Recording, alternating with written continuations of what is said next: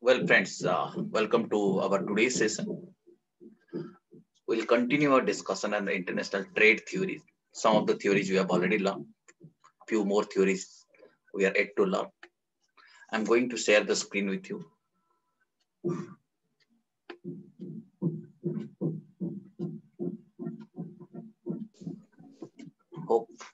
You are able to see the screen now.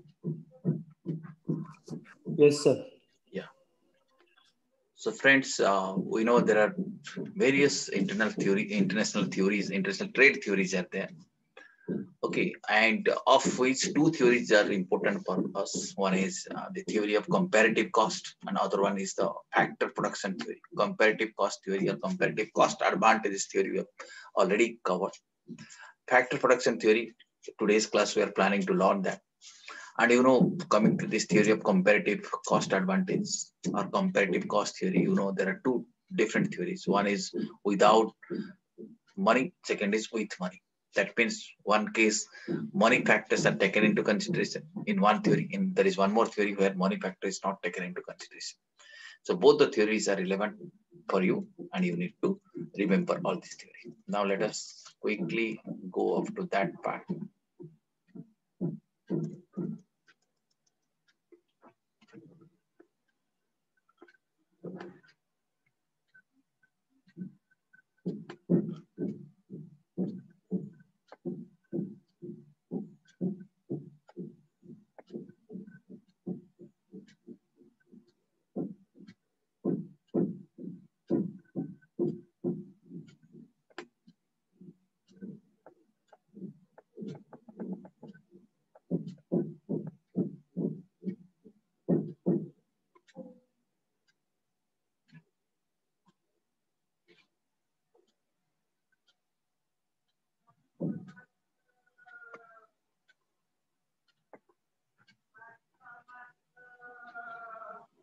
Yeah, you can see various theories are there. This is the list of theories.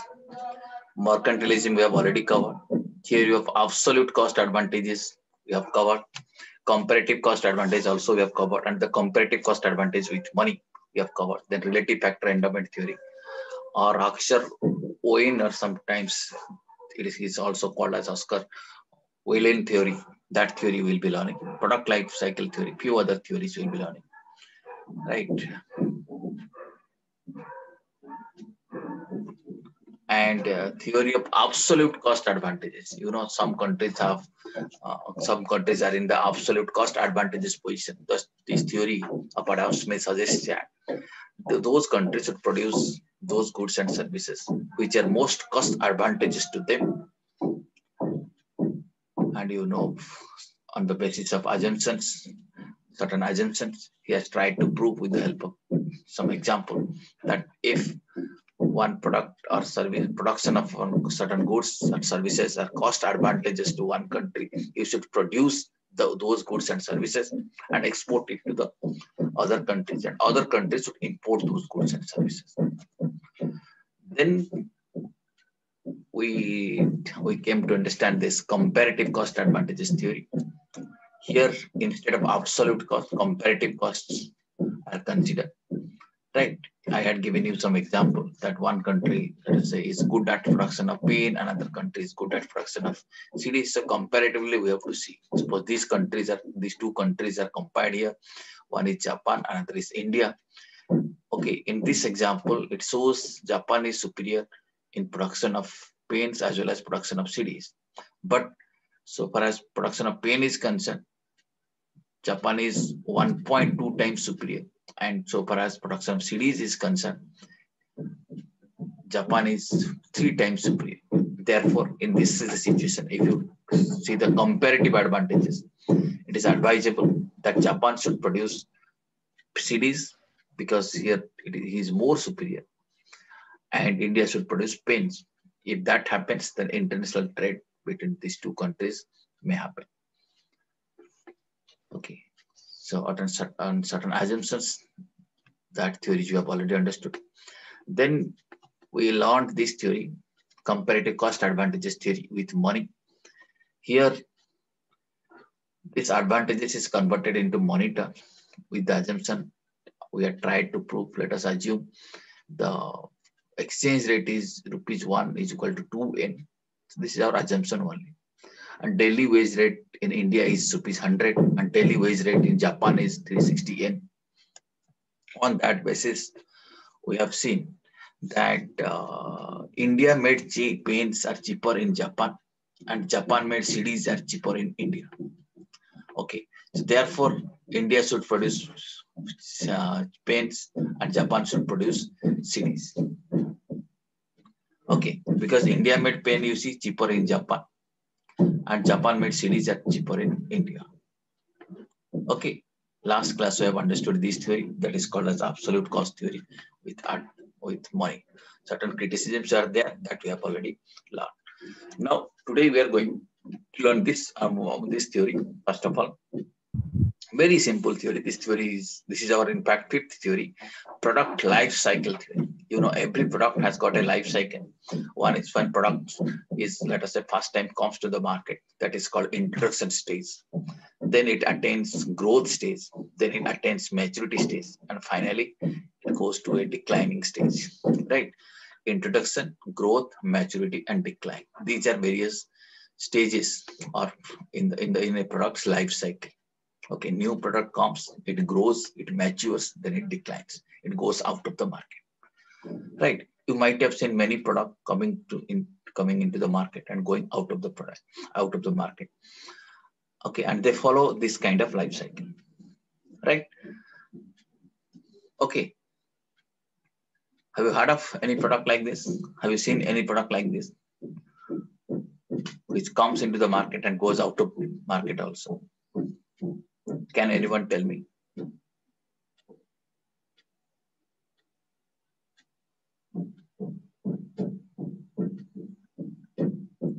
Any product which has come into the market and going out of market.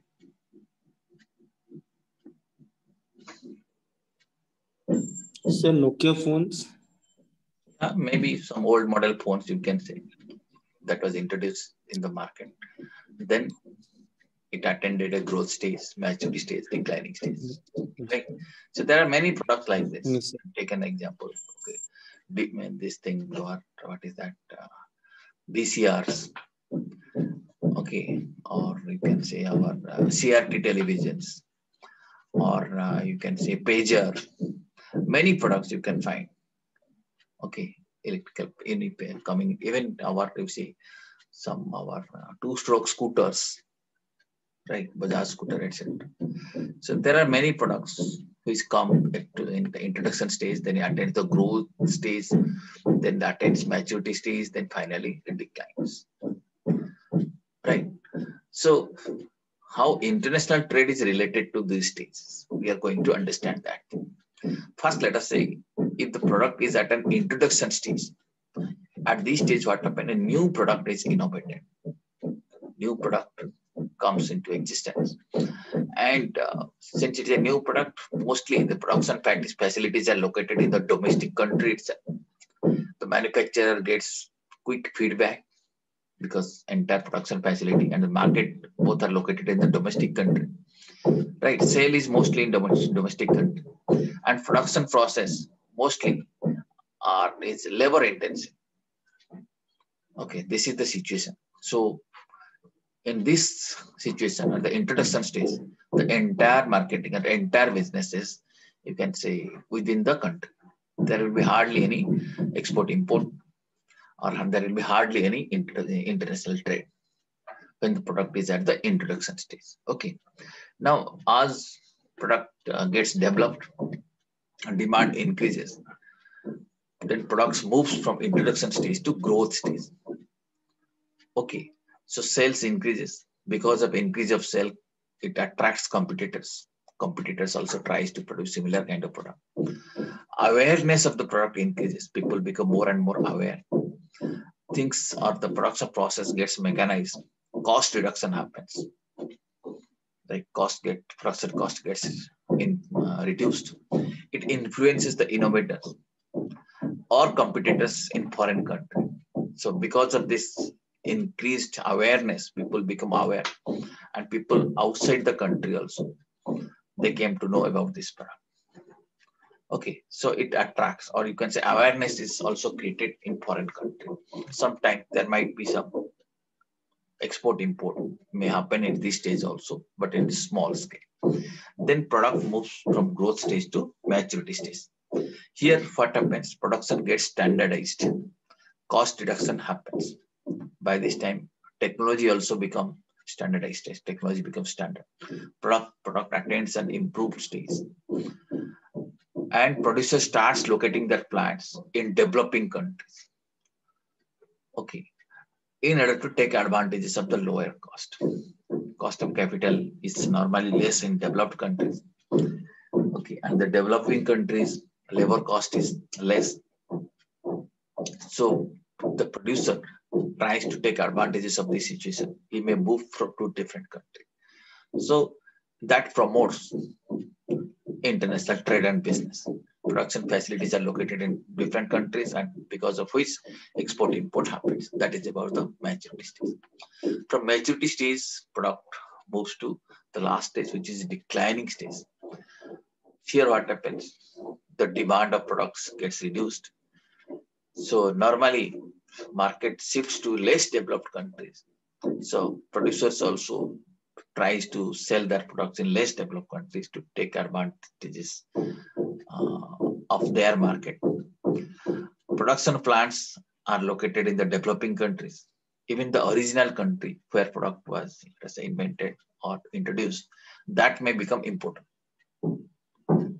If at all there is a requirement, that original country may import that thing. Production facility moves to a different country and export import happens. This is how international trade is related to different stages of production. Did you understand this? Four stages I told you. Introduction, growth, maturity, and declining stage. Okay. And international trade is related to these stages. Okay, mostly international trade happens in maturity stage and little international trade is also there in growth stage. But in new product, in introduction stage, the product development uh, stage, mostly production facilities are located in the domestic country. And at the declining stage also, export import happens. Right. So uh, here market is mostly located in the less developed countries or underdeveloped countries. So therefore, if production facilities are located in some other countries, those goods and services needs to be exported. Did you understand this theory? Product yes, life cycle theory. Yeah. Now, next theory is yes, one sir. more important theory. This theory is this is one more theory of international trade. As you can say, factor proportion theory. Heckscher-Ohlin theory, the same theory has got different names. Okay, this 2 by 2 by 2 model theory and there is one more name that is called as a relative factor endowment theory the same theory has got all these names factor proportion theory Heckscher-Ohlin theory or Heckscher-Ohlin theory 2 by 2 by 2 model or relative factor endowment theory okay so as you know uh, this is one of the important theory. We have to learn that theory. Now let us say what this particular theory suggests. This theory, which is called as the factor proportion theory, that states that a country should specialize in the production and export of those products that make use of its relatively abundant factor. You know, every country uh, or any product has uh, any product deals with certain factors of production. Right, there are many factors which are required to produce a goods or produce a service. So if a particular factor is abundantly available in a particular country, that will be called as the relatively abundant factor. Okay, so if a particular product is making use of that factor, then the country should specialize in the production or export of those products and services. Right, if it is abundantly available. Okay, did you understand? let us say if, if you say that tea is abundantly available in India, then India should produce more and more, or, or let us say factors of production, let's say more labor is available for production of tea in India, then India should focus on production of tea and export. Okay, let us say factor of production is suitable for cotton production in India, then India should produce and export cotton products. Did you understand? A country that is relatively labor abundant should specialize in the production of relatively labor intensive goods. There are some goods which are labor intensive. There are some goods which are capital intensive. Capital intensive means you need capital, you need more money to produce those goods and services. And there are some countries who are having abundantly uh, this uh, abundant supply of capital. And there are some countries who are good at supply of labor. So accordingly, both the countries should focus on different kind of goods and services. Did you understand? This is referred to as factor proportion theory. Did you broadly understand this theory? Yes, sir. Now, friends, okay, if you try to go deep into that theory, according to this theory, that's why oh, it is a two by two by two model. It says, or this theory assumes two types of products. One is labor intensive products, one is capital intensive products. The theory assumes there are two countries and two factors. Okay, so so export import can happen between two countries. Therefore, the theory is referred to as two by two by two model.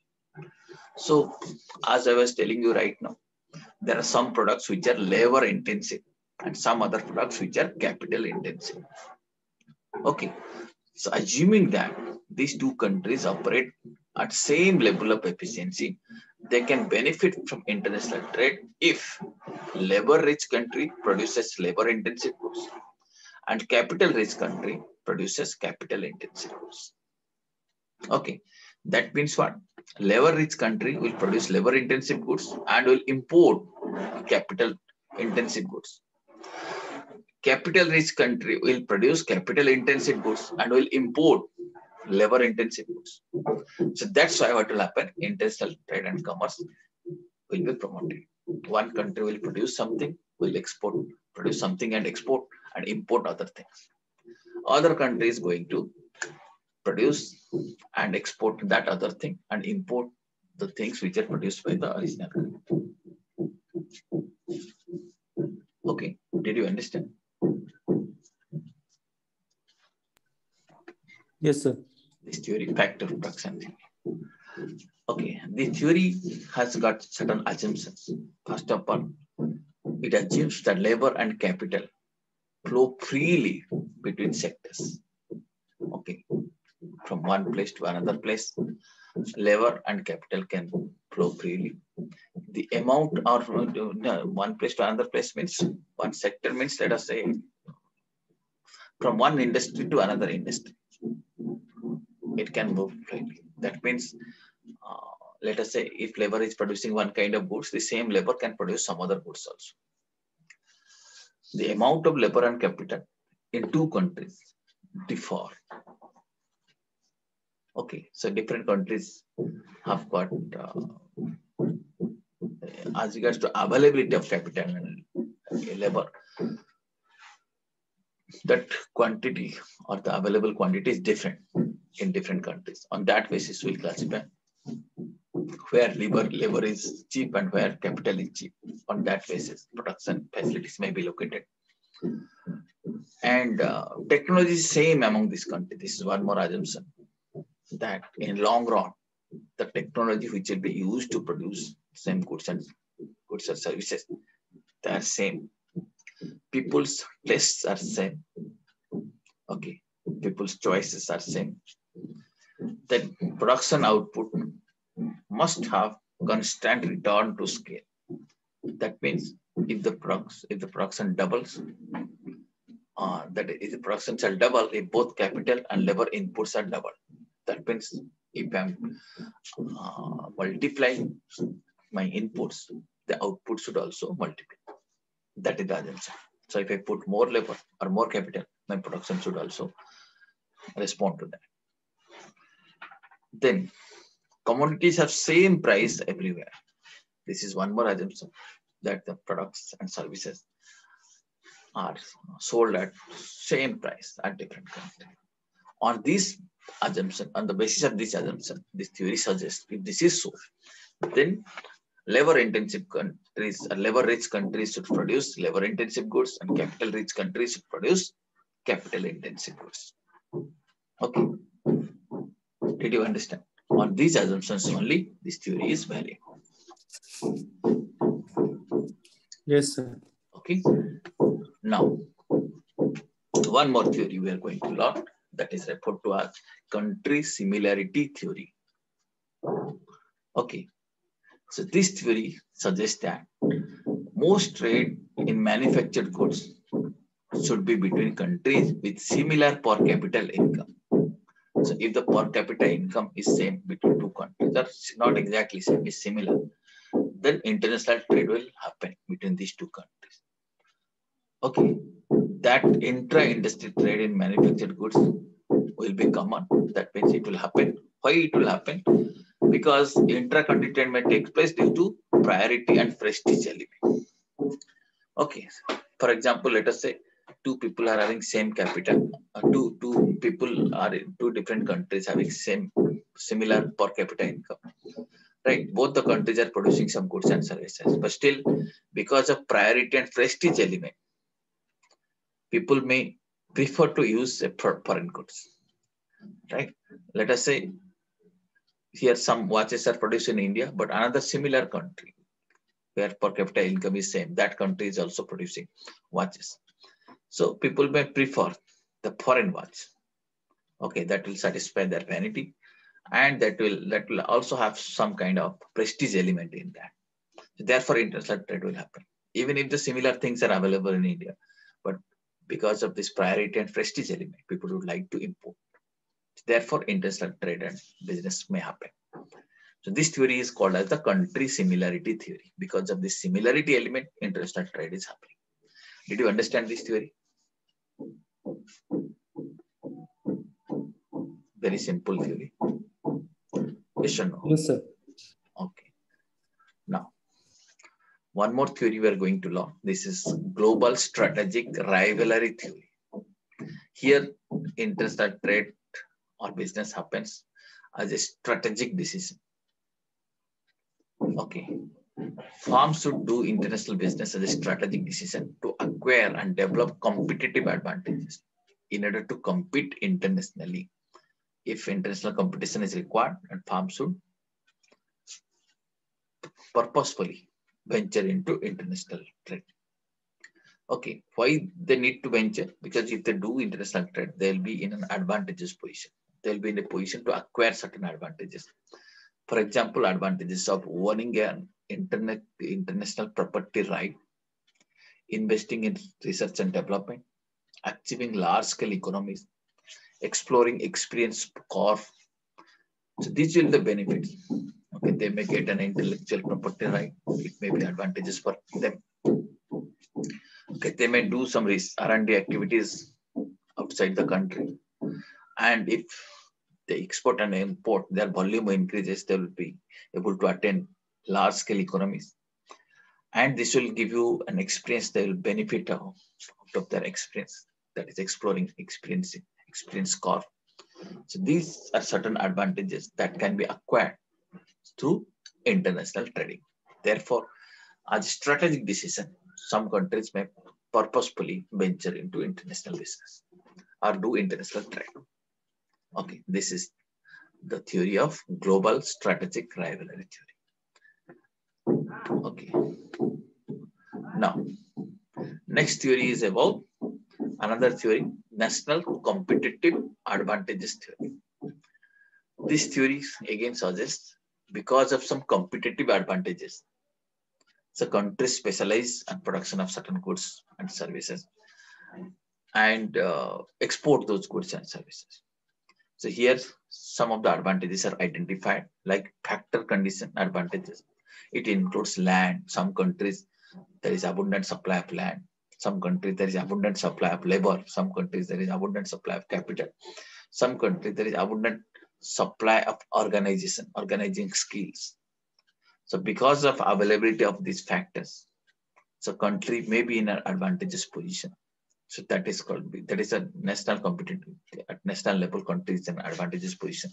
So com countries should produce those goods and services which require these factors. Similarly, demand condition is another advantages for many countries. So different countries have different demand of goods and services. So on the basis of that factor, country may, uh, one country may be suitable for production of goods and services, certain goods and services. The related and support, supported industry. There are some countries, uh, there is uh, related and supported service service industries are there. Okay, if they produce something, supporting industries are there, which will be helping them in their production. Let's say you are producing car, industries are there to produce tire, to produce accessories. So because of this related and supported industry, the country might be in an advantageous position. These are certain advantages. Farm strategy, structure, rivalry, all these are certain competitive advantages which some countries enjoy. Okay, so those countries produce those goods and services and export to other countries. So because of which international trade happens. Okay, did you understand this one? National competitive advantage theory. Yes, sir. Yeah. Now, one more theory we are going to learn. This is about new trade theory. Okay, this theory is that to minimize transportation costs, sometimes farms want to locate near consumers. Sometimes you what happen. If you import something, the transportation cost might be less than produce in your own. Then you let us say if you're using your domestic product. Some some countries size is so big, and the people who are staying in the border areas, the industries which are located in the border areas, for them it might be preferable to import something than to buy it from buy it from domestic market. Okay, high transportation cost are involved. Right, so this also happens to minimize the transportation cost. People import. Okay, did you understand this theory? Let us say we are in India and uh, there are some states which are close to Bangladesh, very close to China. So for them, if they want to, let us say, buy something from Tamil Nadu, or if they got a choice to buy something from Tamil Nadu or to buy it from uh, Bangladesh, it might be better for them to buy it from Bangladesh. So they will be pre preferring to import because transportation cost will be less, proximity is less. Okay, that is called new trade theory. Then one more theory is that, that is gravity model. This model says that international trade depends on a distance between two countries and interaction of countries' economic size. That means two things matters, size and distance. Country size, because demand is affected by, uh, demand is closely related uh, with the size of the country and the distance between these countries. Okay, since Newton's law also talks about size and distance, and this trade theory is talking about size and distance. So this is referred to as gravity model. Okay, this is one more theory. Okay, so these are some of the theories we have learned. And uh, all, the, all these theories uh, talks about why international trade happens, what is the reason and what can be done to improve international trade. International trade is definitely advantages we already know there are certain specific advantages of exports like use of excess capacity. If the capacity is there, surplus capacity is there, that can be used. Cost reduction, greater profitability. Risk is also shared. When you are doing business only in one country, if something wrong happens in that country, that other country's economy fails, then your business is at a risk. So by doing business with different countries, you are spreading your risk. So risk is diversified and risk is minimized. Okay, so these are some of the theories that we have learned about international trade. Did you understand all these theories? Yes, sir. Okay, so uh, yeah.